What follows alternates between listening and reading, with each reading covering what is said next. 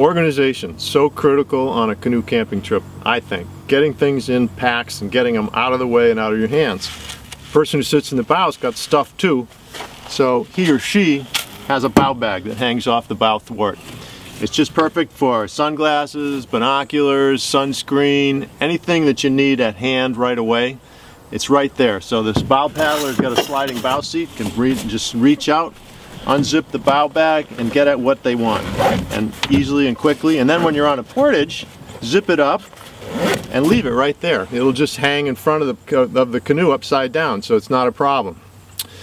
Next uh, location to hang stuff is off one of the thwarts and this is something called a thwart bag that just has a, firm inside uh, bottom piece to keep it out of the bilge water on the bottom of the canoe and it's a little bit bigger than the bow bag.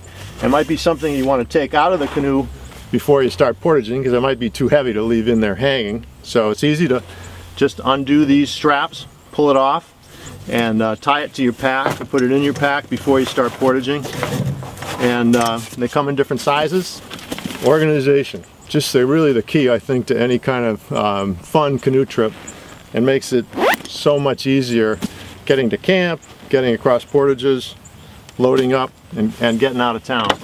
So the final piece, which is my favorite, is back here, because I usually sit in the stern, and this is a special pack that only Gear makes. And it's called the top of the thwart pack. It's got straps that attach it to the round thwart in the back of your canoe, right in front of your seat, and it makes it, it's like a little glove compartment for the stern paddler. It's like the coolest thing because you open it up and right in front of you is all the cool stuff that you need like for me, all my lures, um, some pliers for taking off those big northerns off the hook without getting their teeth in, inside of you, knife, knife sharpener, some matches, all the basics are right here in front of you in what's called a top of the thwart bag. It stays there when I portage.